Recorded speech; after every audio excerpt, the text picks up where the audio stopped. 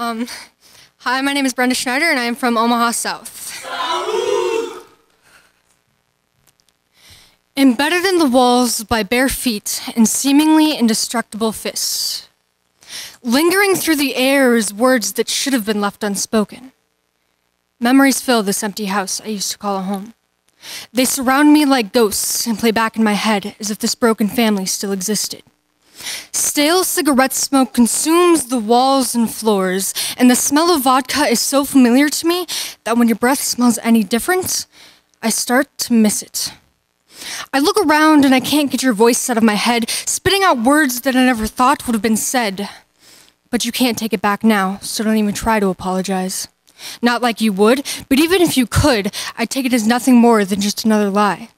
You see, I'm older now, and I'm not gonna play your little game where you turn things around and say I'm the one to blame, and I end up apologizing for something I didn't even do.